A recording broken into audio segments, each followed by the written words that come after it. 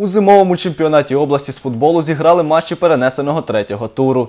Вікторія з Жовтневого обіграла Барсу 99 з рахунком 6-1. Після цієї перемоги команда з Білопільщини займає другу сходинку з 10 очками. У суботу у центральному матчі туру Вікторія зіграє з лідером чемпіонату командою Спартак Сумбуд, яка має у своєму активі 12 очок.